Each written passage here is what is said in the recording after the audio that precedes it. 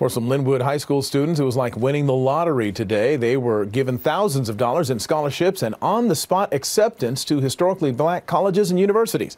Our community journalist Eric Resendiz has the story. A caravan of college recruiters made visits to Lynwood Unified High Schools and allowed students to earn on-the-spot acceptance to a college, which included more than 25 historically black colleges and universities as options. I got accepted into Philander um, Smith College and they gave me a $24,000 scholarship. I was just over in the corner like crying happy tears.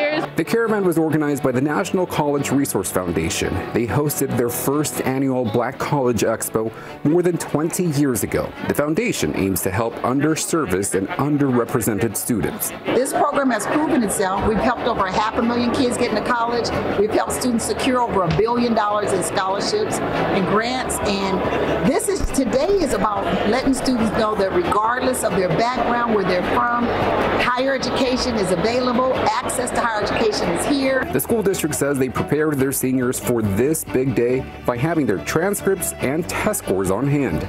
Organizers say the event is not limited to African American students.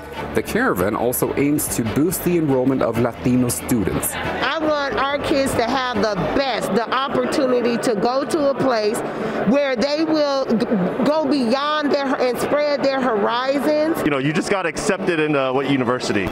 Coppin University. Uh, tell me how you're feeling right now. I feel excited mostly because I was probably, I'm not sure if I was the first person in my family to get accepted to a university, but also because I can play football for this school.